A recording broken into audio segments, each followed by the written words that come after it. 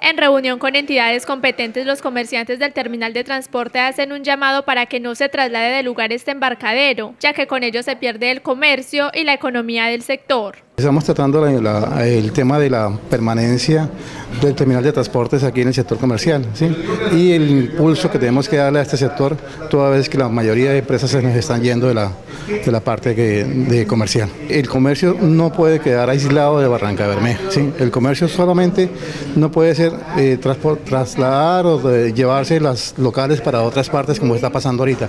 Hay que darle un impulso a todo el sector que está durante muchos años impulsando la economía de Barranca. El POT es uno de los elementos esenciales para poder definir este tema. El POT debe contemplar todo lo que es la ciudad en su entorno y esperamos que con los transportadores que hacen parte de los intermunicipales y una comisión que se está armando aquí en el hotel, podamos como vender la idea de que es viable el terminal de transporte en el sector.